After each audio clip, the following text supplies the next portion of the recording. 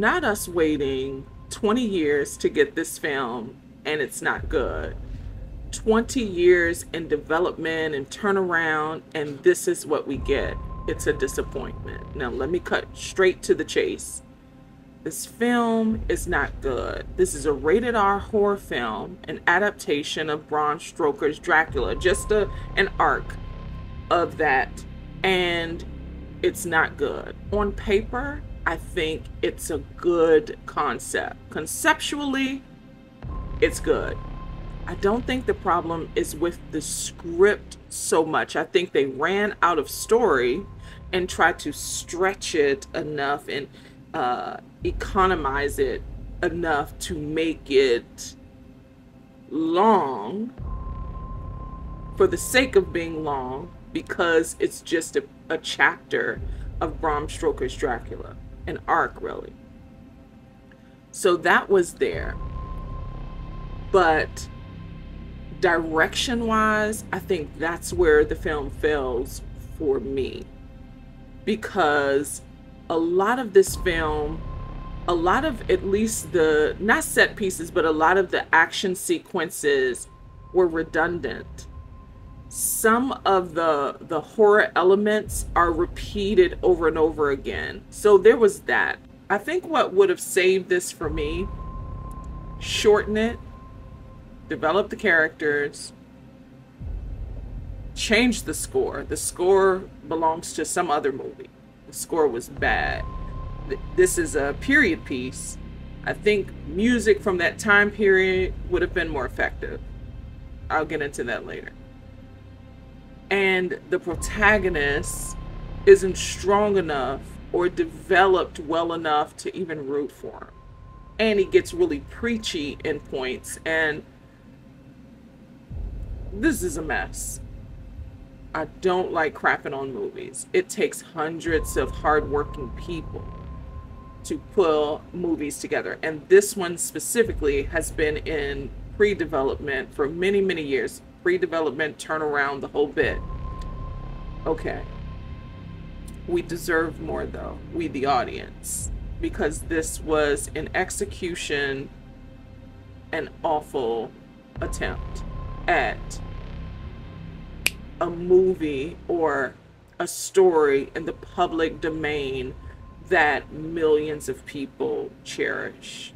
Because this is a contained thriller on a ghost ship in the 1800s, the late 1800s, I think the issue with the direction, just for me, for me, for my taste, I think because it's a contained thriller, it's not easy. There are not too many places you can go. And so I think that's why they ran out of ideas direction wise. They ran out of story, I think. And so it became very redundant with uh, the horror elements of it.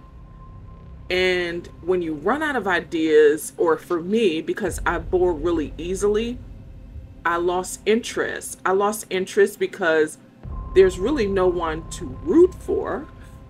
Corey Hawkins is the star of this film and is centered around his character, and I'll get into what I didn't like about that performance. But we, for this to be a rated R horror film, there weren't any jump scares. They weren't serious jump scares. Nothing was horrifying in the film. Well, there were horrifying elements, but it wasn't scary. And it just and then on top of that like the development so the development of the characters wasn't strong enough to care about any of them even the kid. And then because the livestock and the dog spoiler alert because the livestock and the dog were killed early in the film that ruined it for me. So there was not anywhere else to go after that. The basic concept of the film is this group of longshoremen are carrying dangerous cargo. They have to make it to London in torrential weather in the uh, you know in the sea on this really old ship that needs to be retired. And to their surprise, Dracula's on board. On paper, this should have worked. I was thinking, based on the trailer, that this was going to be the Titanic, but scary. That's something I would have been interested in. And it starts off there. You can see that although the, I, I think the writers took some of those ideas and incorporated it into this film, but it just didn't work because the story was really weak. Now, let me get into Corey Hawkins. I like him as an actor, he's a fellow DC native. I'm rooting for him. I think he's good in, you know, a lot of things. But this one, I think his character was underdeveloped.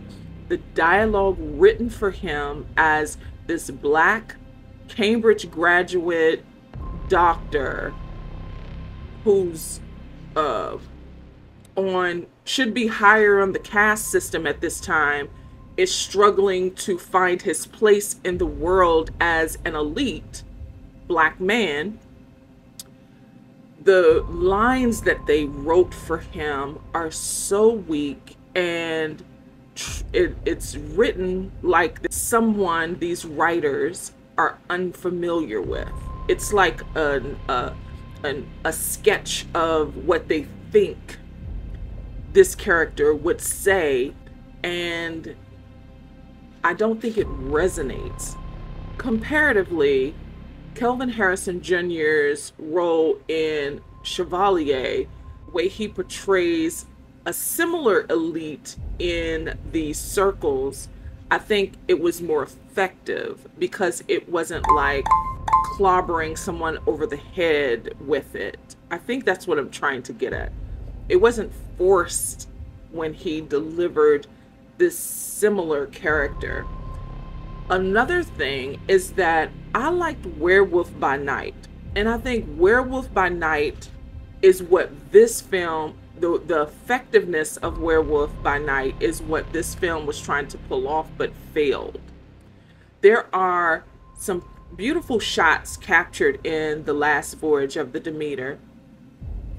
There are some, there are many that are not.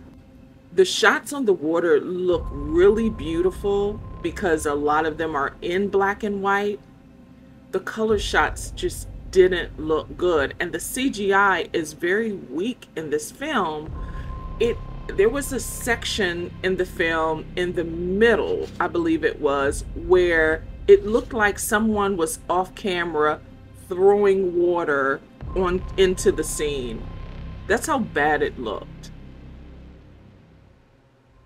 I wanted to stay up just to give this film a chance, but it it was a struggle staying awake, especially since I saw it at night, but because it's so redundant, it's so weak, it's not a good film conceptually it should have been because it's such a great idea. The arc of it all was a good idea.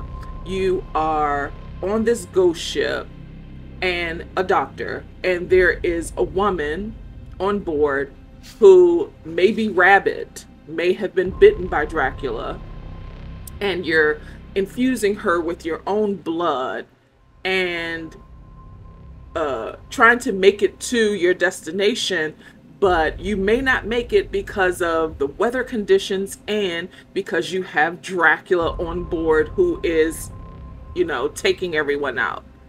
I think conceptually that was a great story, but it wasn't captivating enough the way that the it wasn't captivating enough because of the direction of it. I think they lose momentum early on I was into it in the beginning, but it got weaker and weaker, and I kept losing interest. I really don't think this is a good film. But they have to take time to develop the characters so that we can care. I didn't care about anyone on board because they were not interested. The dialogue was too weak.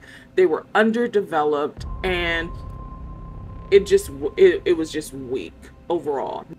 And finally, the score the score belonged to a totally different movie. The score is so bad. In that time period with the music, I think it should have, they should have kept the music from that time with really high organs and horns and string instruments, I think it would have worked better for the film. I also think that they should have made the film black and white. Now, I know a lot of people do not like black and white films. I again, I think what they did with Werewolf by Night was effective. I liked Werewolf by Night. It was short, sweet, it was funny, it was scary. I liked it. And I think this should have been a lot more like that than whatever this is. This spun out of control based on the direction of what they had. They had something really special, and I think they blew it. It's just not good. I like that a black lead is leading a this scary this horror film, but it's just honestly, it's just not good. I know it's difficult to hold interest, to captivate audiences and hold their interest when you have a period piece in the public domain that is a contained thriller. And to top it off, you have a preachy protagonist that is not well written or developed.